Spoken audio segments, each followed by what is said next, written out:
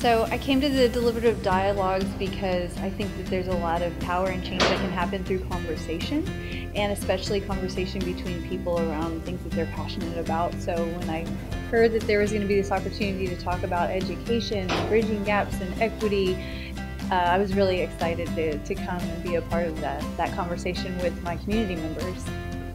People had really good ideas, so uh, it's, it's exciting to see the community getting involved like this. So gives me hope. Um, my main takeaway was how happy I was that there are so many people who are concerned about this.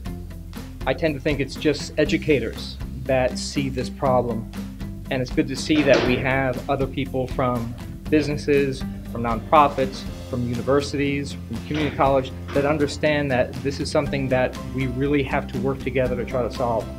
I thought that it was very interesting. Um, we pretty much all had like the same ideas. Um, I think on all of the boards we had mentorship mentorship programs. Uh, I, I thought the format was was really conducive to having good conversations. It didn't feel like I was sitting in a lecture hall, so that was nice. I feel like I actually contributed.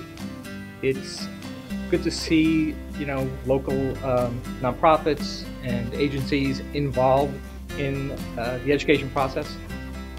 At the end of the night, I felt empowered. Feel that there's a renewed spirit and a, a sense of hope for what we can accomplish in San Marcos.